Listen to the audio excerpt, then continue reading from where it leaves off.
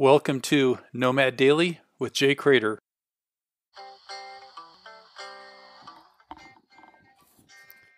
In chapter 25 of my book called Radical Freedom, I start with a quote by Guillaume Apollinaire.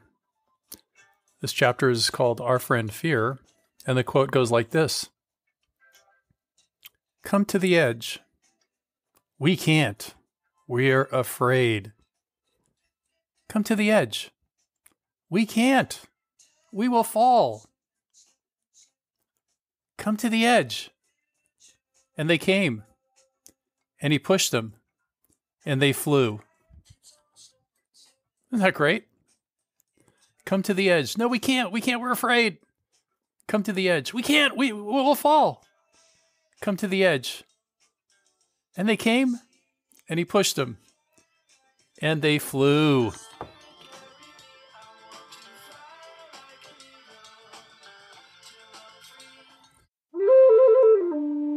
For more information and bonus content, visit nomadjay.com.